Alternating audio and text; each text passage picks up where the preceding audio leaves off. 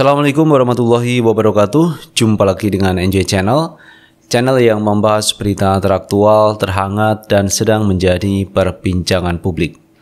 Sahabat Enjoy Channel, kali ini yang akan kita bahas yaitu mengenai Pak Anies Baswedan, di mana Pak Anies ini diinginkan oleh sebagian masyarakat Indonesia untuk maju di Pilpres 2024. Jadi banyak deklarasi-deklarasi di berbagai daerah supaya Pak Anies maju di 2024. Namun teman-teman, Pak Anies Baswedan satu sisi ini masih menjadi gubernur DKI Jakarta yang tentunya beliau belum memberikan pernyataan resmi apakah maju di 2024 atau tidak. Karena tidak etis teman-teman pada saat beliau menjabat sebagai gubernur DKI Jakarta lantas memberikan jawaban bahwa dia ini maju di 2024 atau tidak. Ini kan tidak etis memberikan jawaban seperti itu. Kecuali Pak Anies nanti sudah selesai menjabat sebagai Gubernur DKI Jakarta, baru Pak Anies akan memberikan sikap. Nah teman-teman, ketika masyarakat banyak menginginkan Pak Anies menjadi calon presiden, ini Gayung pun bersambut.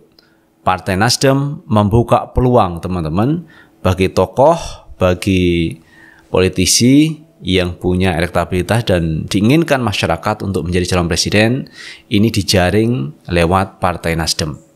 Artinya Partai Nasdem terbuka bagi siapa saja tokoh yang diinginkan publik untuk maju atau layak menjadi kontestan di 2024. Nah teman-teman, terkait Pak Anies Baswedan ini yang punya elektabilitas tinggi ternyata ditakuti oleh beberapa pihak takut kalau Pak Anies nanti menjadi presiden beneran teman-teman. Makanya mulai hari ini segala upaya ini serangan demi serangan ditujukan ke Pak Anies untuk menjatuhkan Pak Anies supaya tidak maju di 2024. Karena ada beberapa orang yang ternyata takut kalau Pak Anies nanti benar-benar maju di 2024 apalagi jadi presiden. Ini mereka takut sekali. Alasannya Indonesia akan hancur bila dipimpin oleh Anies Baswedan. Indonesia akan hancur, akan tumbuh radikalisme kalau Pak Anies menjadi presiden. Dan berbagai narasi-narasi yang menyudutkan Pak Anies yang belum tentu, sekali lagi teman-teman, belum tentu apa yang disampaikan itu benar. Karena itu masih berupa analisa, masih berupa wacana, dan cenderung kepada fitnah. Jadi itu teman-teman yang kita sayangkan. Dan pihak-pihak itu di antaranya adalah mereka-mereka yang selama ini menyerang Pak Anies Baswedan. Nah teman-teman, terkait itu semua, kita akan baca beritanya dari fajar.co.id. Ngaku takut Anies Baswedan jadi Presiden RI, Zen Kribo mengatakan hancur negeri ini pecah NKRI. Ini Kribo teman-teman yang mengatakan seperti itu, Zen Kribo. Penggiat media sosial Zen Asegap alias Zen Kribo mengaku takut jika Anies Baswedan terpilih sebagai Presiden RI pada Pilpres 2024 mendatang. Sebab Sen Kribo mengatakan bahwa jika Anies jadi presiden maka negara ini akan hancur. Narasi-narasi yang disampaikan Sen Kribo ini menurut saya adalah sulit untuk dipertanggungjawabkan karena dia berbicara masa yang akan datang. Padahal masa yang akan datang ini belum kita lalui. Jadi apakah benar Indonesia akan hancur? Indonesia akan pecah jika dipimpin oleh Pak Anies Baswedan. Ini kan jika, teman-teman. Jadi belum menjadi sebuah kenyataan. Dan narasi yang dikembangkan ini justru menakut-nakuti masyarakat. Jujur, saya takut dengan Anies kalau jadi presiden. Hancur negeri ini, pecah NKRI, akan dijual negeri ini, kata Zen dalam sebuah potongan video yang diunggah oleh politikus PDIP Ruhut Sitompul di akun Twitternya Kamis 5 April 2022. Sen Kribo mengatakan gerakan radikal akan tumbuh subur jika Anies jadi presiden. Nah ini fitnah-fitnah yang uh, terus dilakukan oleh pihak sebelah teman-teman. Katanya seperti ini, gerakan radikal akan tumbuh subur jika Anies jadi presiden. Nah apakah ini tidak sebaliknya teman-teman? Justru ketika Pak Anies menjadi presiden, maka Pak Anies akan menegakkan seperti yang pernah disampaikan bahwa keadilan sosial bagi seluruh rakyat Indonesia itu yang akan ditegakkan oleh Pak Anies Baswedan. Kenapa masih takut?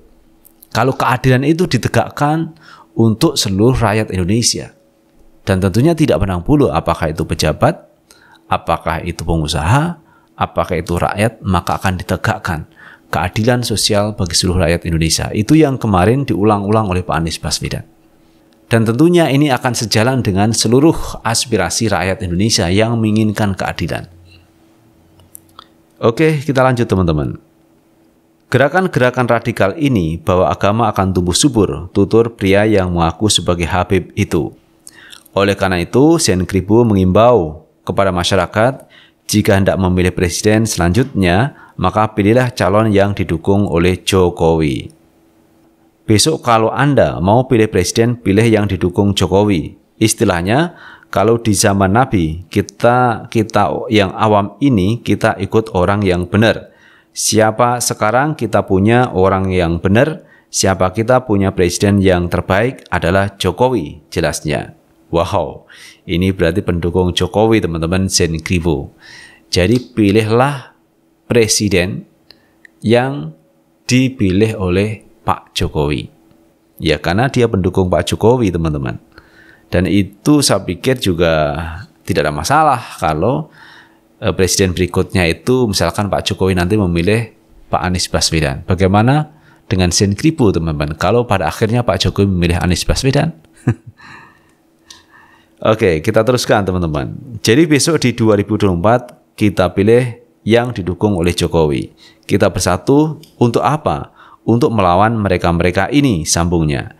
Video berdurasi 1 menit 5 detik itu direspon baik oleh Ruhut Sitompul. Mantan kader Partai Demokrat ini mendukung pernyataan Sen tersebut. Aku kasih nilai 100, waspada, waspada, waspadalah NKRI harga mati, Pancasila ideologi negara Indonesia tercinta yang harus terus kita lestarikan. Sukron Habib Kribo Merdeka, kata Ruhut Sitompul. Jadi teman-teman ini statement yang disampaikan Kribo ini diapresiasi dan didukung oleh Ruhut Sitompul, politikus dari PDIP yang dulu adalah politikus Partai Demokrat yang sebelumnya politikus Partai Golkar. Jadi ini pindah-pindah teman-teman orang ini dari Golkar ke Demokrat, dari Demokrat ke PDIP. Pokoknya kalau kita melihat sepak terjang dari Ruhut Sitompul ini mendukung kepada pemerintahan yang berkuasa saat itu. Nah, kalau suatu saat nanti teman-teman, misalkan pemerintah yang akan datang dipegang oleh Anies Baswedan, mungkin Ruhut Sitompul akan mendukung Pak Anies Baswedan. Karena kalau kita lihat dari sejarah yang lama teman-teman, ternyata Ruhut Sitompul ini mendukung ke penguasa yang memerintah saat itu. Nah, sementara kalau kita lihat Sen Kribo ini, kita mendengar Sen Kribo ini di era pemerintahan Pak Jokowi, karena dia pendukung Pak Jokowi. Jadi kita juga belum melihat apakah nanti setelah Pak Jokowi lengser tidak menjadi presiden ke mana arah politik dari Sen Kribo itu. Tetapi yang pasti sekarang adalah Sen Kribo mencoba untuk menyerang Pak Anies Baswedan dengan mengatakan Indonesia akan pecah, Indonesia akan hancur jika dipimpin oleh Pak Anies Baswedan. Jadi dia tidak rela kalau NKRI ini dipegang oleh Pak Anies Baswedan. Akan hancur katanya.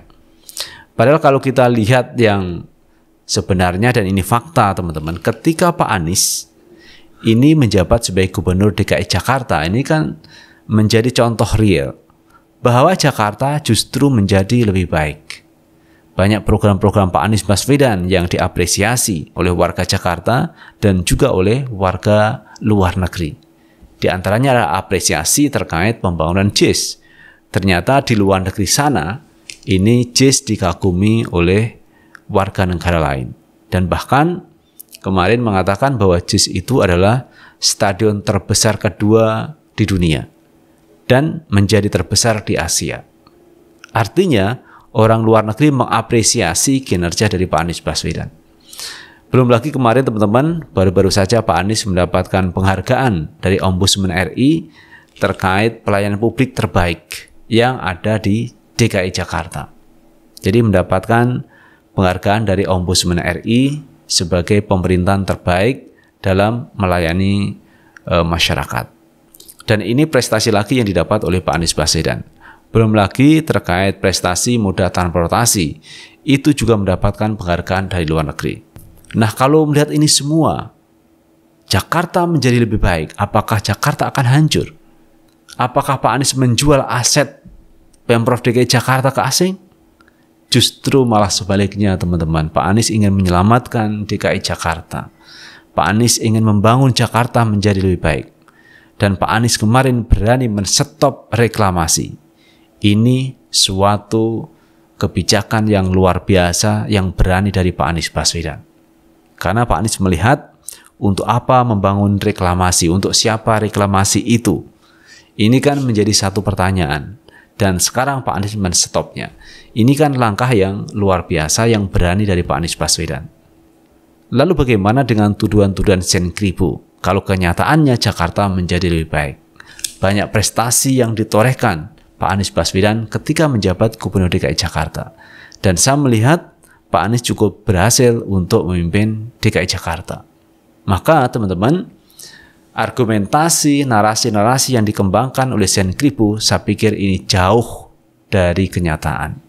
Dan saya melihatnya justru sebaliknya, Pak Anies malah membangun Jakarta menjadi lebih baik. Nah, teman-teman, terkait Pak Anies Baswedan ini memang menarik untuk diperbincangkan, terutama menghadapi tahun politik 2023 dan 2024. Kenapa? memang Pak Anies ini ditakuti benar-benar teman-teman kalau benar-benar maju di Pilpres 2024. Kedua, karena Pak Anies punya modal. Modal untuk maju di Pilpres yaitu elektabilitas yang cukup tinggi. Yaitu di samping Pak Prabowo, Pak Ganjar ada Pak Anies Baswedan. Dan ini menjadi sangat berbahaya kalau Pak Anies ini benar-benar maju di 2024. Seperti yang disampaikan oleh Sen Kribo, dia merasa takut kalau Pak Anies menjadi presiden. Jadi kalau kita melihat perkembangan ke depan teman-teman memang ini menjadi menarik. Jika benar-benar Partai Nasdem mengusung Pak Anies menjadi calon presiden. Dan tentunya Pak Anies bisa menggandeng partai-partai lain yang selama ini belum menentukan sikap, belum menentukan pilihan. Dan ini tentunya pekerjaan rumah bagi Pak Anies Baswedan setelah beliau purna dari Gubernur DKI Jakarta. Dan e, saya pikir Pak Anies akan maju di 2024. Kenapa begitu teman-teman? Karena pada waktu konvensi Partai Demokrat untuk memilih calon presiden, ternyata Pak Anies juga ikut dalam kontestasi itu teman-teman. Dalam konvensi pemilihan calon presiden. Itu pada waktu Demokrat menggelar itu. Nah sekarang teman-teman, peluang Pak Anies ini cukup terbuka. Kenapa? Partai Nasdem membuka peluang jika Pak Anies ini ternyata juga diusulkan oleh kader Partai Nasdem untuk maju di 2024. Artinya peluang itu tentu tidak disia-siakan oleh Pak Anies. Satu langkah, satu kesempatan yang bisa dilakukan Pak Anies adalah mengikuti penjaringan yang ada di Partai Nasdem. Nah, ini teman-teman yang menjadi ketakutan dari Sen Kribo kalau benar-benar Pak Anies ini maju di 2024. Itu teman-teman yang bisa kita bahas kali ini dan terima kasih telah menonton video ini. Jangan lupa tetap like, subscribe, share, dan komen di channel ini agar kita bisa membangun channel ini menjadi lebih baik lagi. Sukses selalu. Assalamualaikum warahmatullahi wabarakatuh.